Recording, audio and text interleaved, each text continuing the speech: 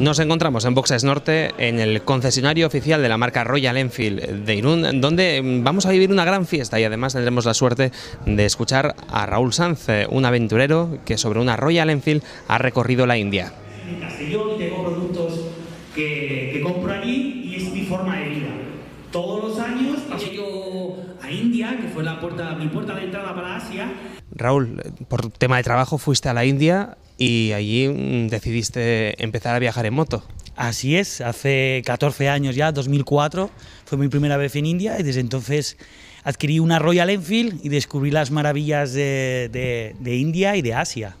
Claro, porque ahora todos los viajes que haces los haces precisamente en esta moto, en Royal Enfield. La Royal Enfield es nuestra, nuestra moto base con la que trabajamos y bueno, es la moto perfecta para, para este tipo de, de, carreteras y es el añadido de, de, viajar como en un país como, como cualquier país asiático con unas motos con estas características, donde las sensaciones es lo que prima. Vas a hacer una charla hoy aquí en Boxes Norte, en la tienda que tenemos en Irún, eh, sí. para hablar de tus viajes. Sí, vamos a estar durante una hora, un poquito más, dándole un poco un repaso, mi historia de cómo llegué, cómo empezaron a ser mis primeros viajes, las aventuras que tuve cuando yo fui solo eh, rodándome aquello. Y la segunda parte de la charla es un poco pues, eh, contar lo que ofrecemos, el servicio que damos, sobre todos estos tipos de viajes por Nepal, India, Bután, Sri Lanka y, y Tíbet.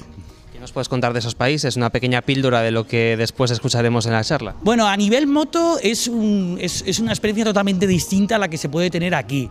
Eh, bueno, allí están los Himalayas, entonces imagínate, tenemos la carretera más alta del mundo, luego hay desiertos eh, y el sur de India es, de junglas. Es, ahí puedes tener muchas experiencias muy distintas y, y bueno, sobre todo es, es algo totalmente distinto a lo que puedes hacer allí, aquí. Poco urbano entonces, ¿no?